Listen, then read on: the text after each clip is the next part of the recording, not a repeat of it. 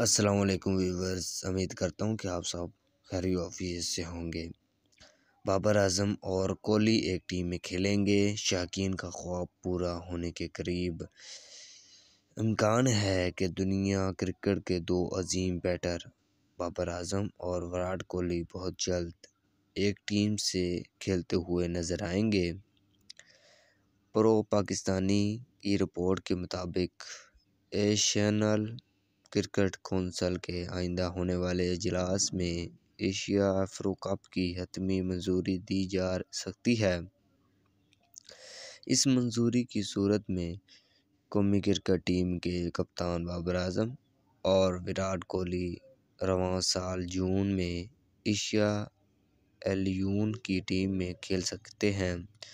Afro Asia cup Asia Afro cup series पहली बार 2005 में खेली गई थी, जबकि 2007 में शेड्यूल शेड्यूल दूसरी एडिशनल से कबल ही मज़कूरा इवेंट को ख़त्म कर दिया गया था, जिसकी वजह से पाकिस्तान और भारत के दरमियान तल्लुकात की खराबी थी।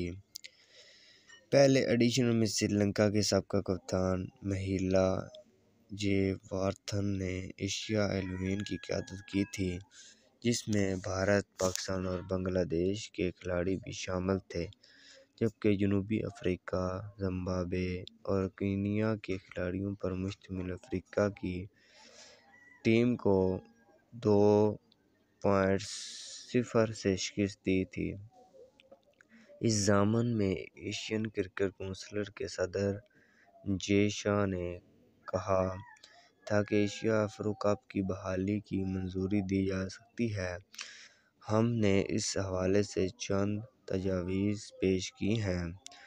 उन्होंने बताया कि ये एक प्रीमियम टूर्नामेंट है, जिससे न सिर्फ़ आमदनी होगी, बल्कि अफ्रीका में क्रिकेट को फ़रोग देने में भी मदद मिलेगी।